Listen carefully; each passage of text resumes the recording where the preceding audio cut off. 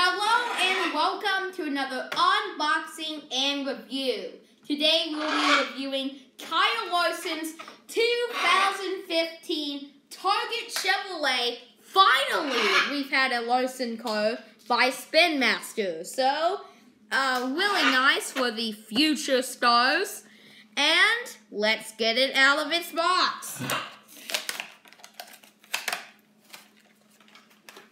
And there's uh, the car, which is a really nice uh, car. And also, we have the box, uh, which is a collector box, which you can open and put your car inside. And as you can see, part of it on this side is see-through. So if you put it in here, you can totally see the car. So it's a uh, really nice car. Uh, it's really cool, and I would definitely recommend picking this up. I I'm kind of surprised that they released this, and um, especially with you know with some heat, most companies, you know, with them.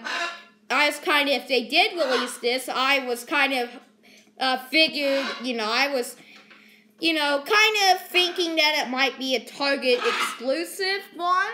You know, only allowed to sell in Target because if they stick it in somewhere else, they might get sued. So, yeah, that's the unfortunate reality. Pretty much everybody does that. So, anyway, so uh, it's really cool. If I was to give this a rating, I would give this a 8 out of 10. This is a really good release by Spin Master. I think it is very good. So, uh, I, I definitely recommend it. So, uh, thank you for watching. Please like, comment, and subscribe. This is Zachary Tinkle signing out.